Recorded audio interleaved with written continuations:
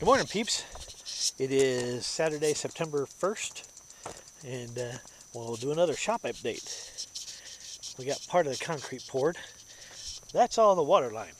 Um, I had to find the line that goes from my well to this house over here and to my house and tap off of it and it has to be five feet deep so it's a pretty big hole.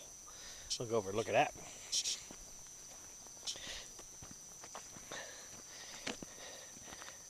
All that for a one inch water line. That's all there is to it. But we have water, as you can see the little pump handle in there. But what I'm really excited about is, is they poured half of the concrete. This is the shop side of my, uh, excuse me, my shop. And this is where I'll be doing all the motorcycle work. Excuse me.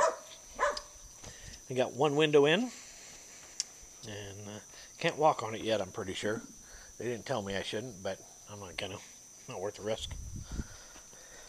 And right here will be where my door will be coming in, and this will be the man cave area, and two dog kennels over there.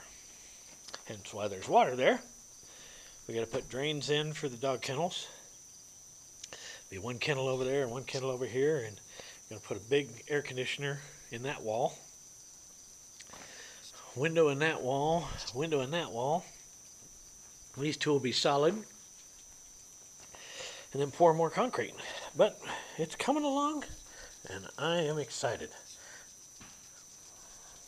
Hope everybody's having a good day. I'll talk to you later. Bye.